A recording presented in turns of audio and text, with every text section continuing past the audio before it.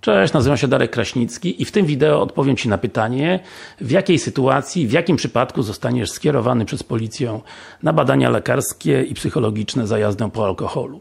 Szczególnie chodzi tutaj o stan nietrzeźwości i stan wskazujący na spożycie alkoholu.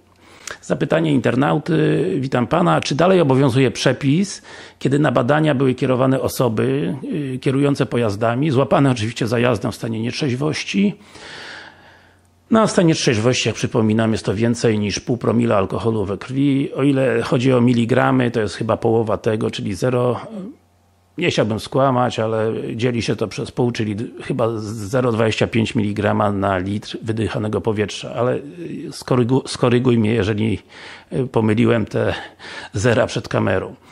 Natomiast na pewno pół promila. Ja zostałem skazany za jazdę w stanie wskazującym na spożycie alkoholu, a moja zawartość alkoholu we krwi była 0,22 i pytam dlatego, że mój kolega parę lat temu miał kiedyś podobną sytuację, miał 0,25 odwołał się od decyzji policji i skierowany na badania do WOMP-u nie został.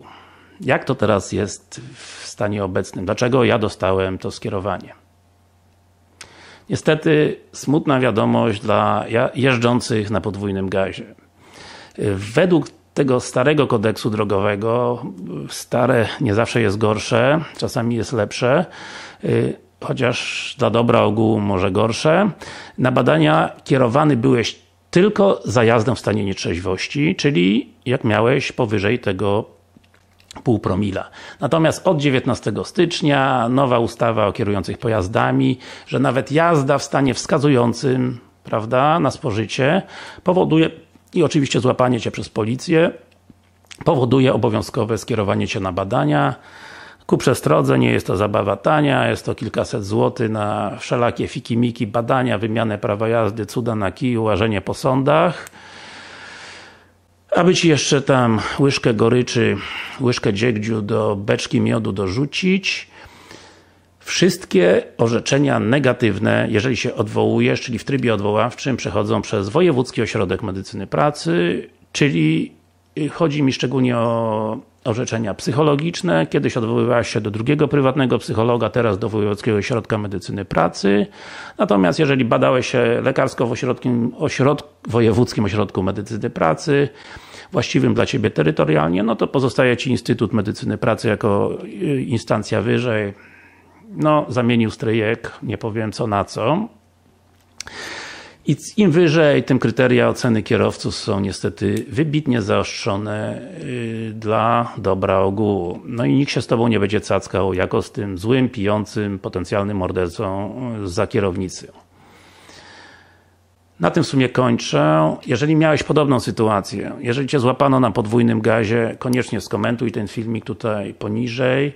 Powiedz mi, powiedz internautom, jak to się potoczyło w Twoim przypadku.